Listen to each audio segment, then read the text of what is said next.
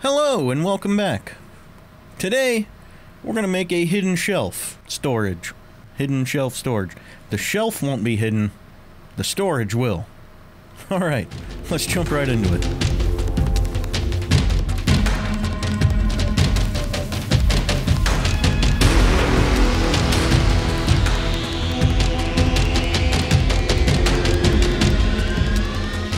So the first thing we're going to do is grab a box. And this is going to be our pocket, the pocket of the drawer where your stuff will be hidden. So we're going to make this the dimensions that we want. These are my dimensions. You can make yours whatever you like. And we're going to make this 90 by 110. Let's recenter that. Okay, and now we're going to need to make the outside walls. And the way that we're going to do that is to duplicate this, turn it into a solid, and then let's add, because I want 3 millimeters on either side. So I want the walls to be 3 millimeters thick. So what we're going to do is add 6. That way we have 3 on this side, 3 on this side, 3 on this side. We're going to add 6 to both sides. So this is easy enough, 116 and 96. Okay, now we can go ahead and align those. And now we want the base to also be 3 millimeters thick.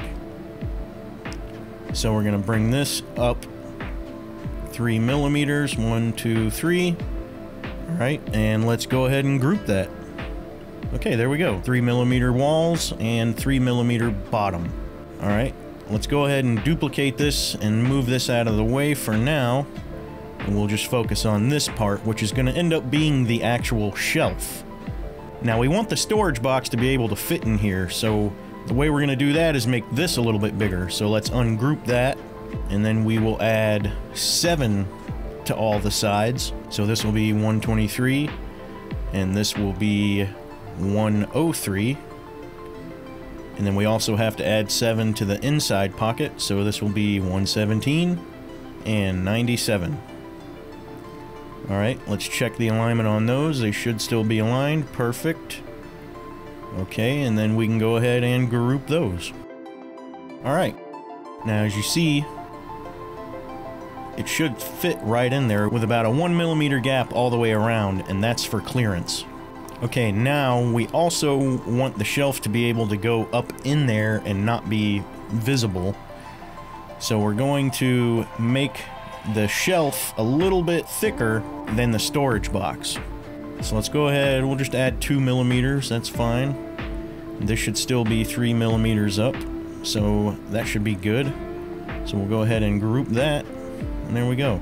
All right, so we're gonna need a way to mount this to the wall, so let's move this one out of the way. And what we're gonna do is add like a face to this. So we're gonna grab a another box, make it five millimeters, and then this is 123. So we're gonna want 10 on either side. So we're gonna make this 143. Now we should have a 10 millimeter gap on either side. And then we're gonna make this 10 millimeters taller. So that one's 22. We'll make this one 32. And then we can go ahead and align that. And then let's just pull it back right there. Okay, and then we can group those. Now this is the actual part that is going to have the screws through it that mounts to the wall.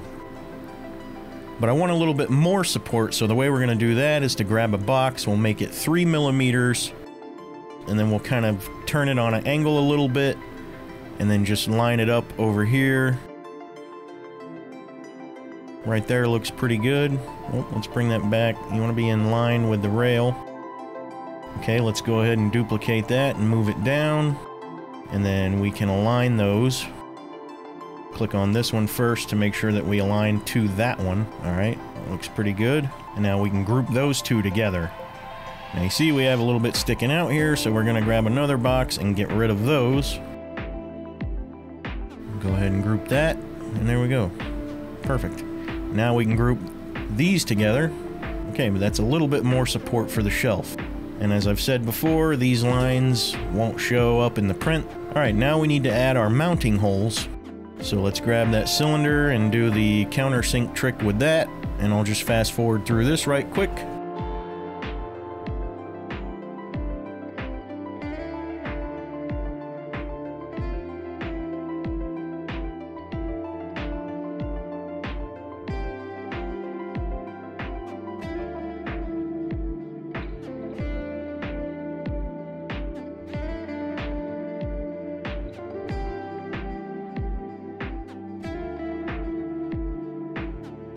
Okay, now a good way to make sure that these three are all evenly spaced is to align them to the center of the shelf here.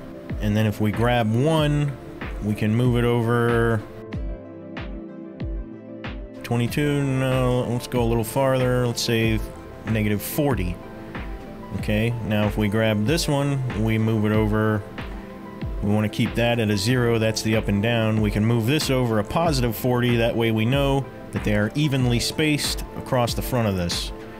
And now we can go ahead and group those together and then move them in two millimeters. We don't want it to shift this way, so we'll change that back to a zero.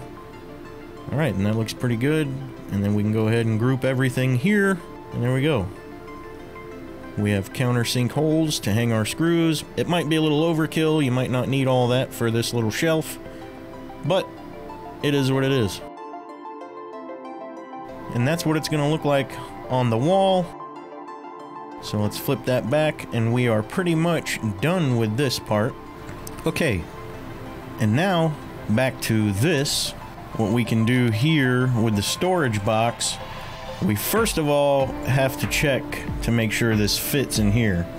Now we know that we have a 3 millimeter base, so let's raise this up 3 millimeters, and then we can go ahead and bring it over. And now look, it sticks up a little bit. It sticks up 1 millimeter, but we want some clearance, so we're going to say 2 millimeters. So let's bring that out so we know now that we have to drop it down by two millimeters. So let's ungroup this, drop this box down by two, and then regroup it, and there we go. Now it'll fit right in there. If we raise it three millimeter, and it'll still have that one millimeter clearance. Okay, now let's put this back.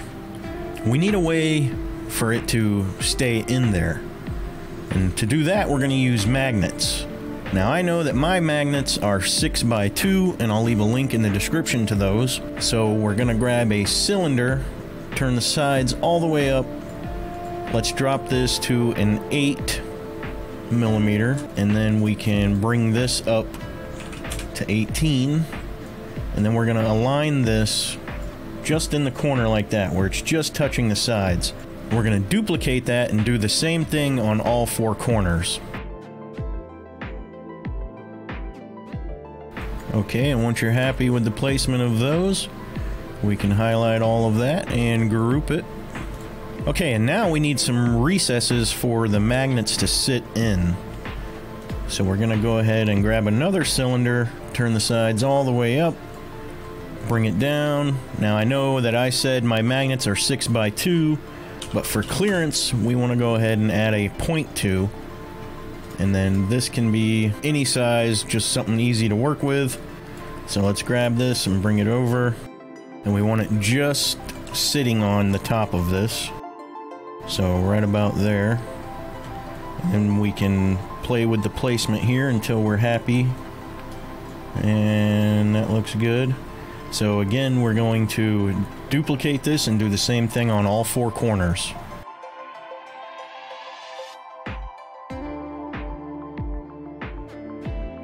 Okay, and once we're happy with the placement of those, let's go ahead and highlight all of them and group those. That way we know that they're all moving at the same. Then we're going to drop it down. Remember, we're going to add a 0.2, so a negative 2.2 then we can highlight all of that and group it and perfect. And now we're almost done with this part. We're gonna need a way to get our hand up in there and pull the storage box out. So what I think will work fine is if we grab a box, bring it down to 12 millimeters, drop it down some, and then just pull it in a little bit. And if we align that to the center and then group those, we should have where we can get a finger in there, or a fingertip at least, and just pull the storage out.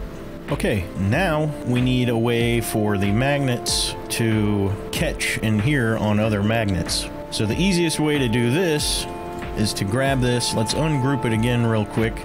Let's grab these and make a duplicate and then pull those out of the way. Regroup this. Okay, and then let's bring this over and align it.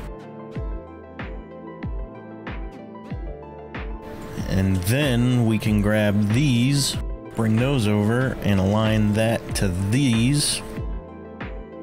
And then let's drop this down. Make sure we're aligned, which we are. Now we can get this out of the way. Oops, not that one, this one. And now let's grab these and bring them down until they're just touching again. So right there. And then let's drop it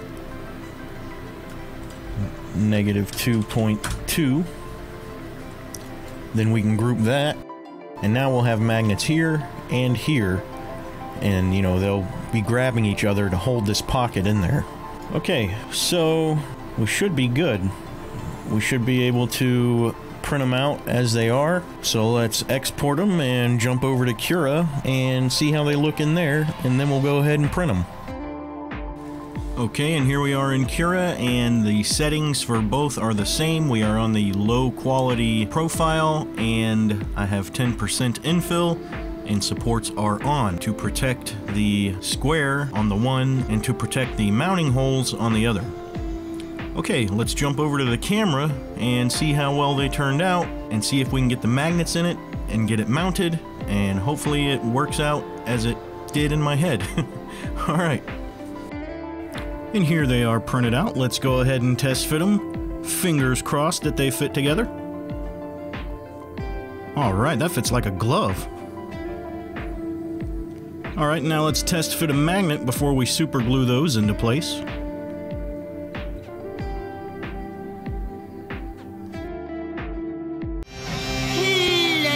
Like? Okay, perfect. Let's get it mounted on the wall. Now the way I mounted it was by putting that center screw in first and using it as sort of the pivot and then I would swivel the shelf to level it. Now you can put all of your special things in here. I've got my YouTube money in it. Let's see if the magnets hold up. Okay. Working pretty good. Okay, a couple quick post-printing comments I want to make. First off, I've added two finger holes to the end design because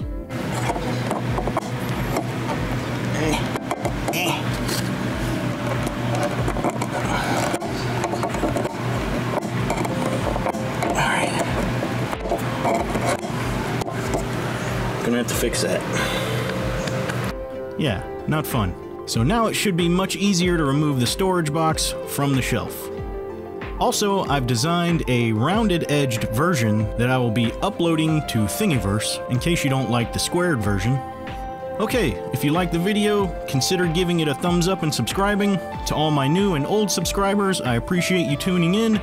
Catch you in the next one, and as always, have the best day ever.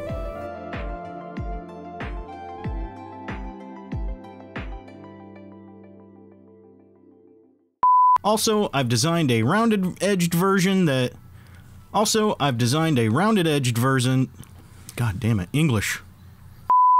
Also, I've designed a rounded edged version that I will also be uploading to Tinkercad in case you don't like the squared version. Yeah, I'm going to upload it to Tinkercad.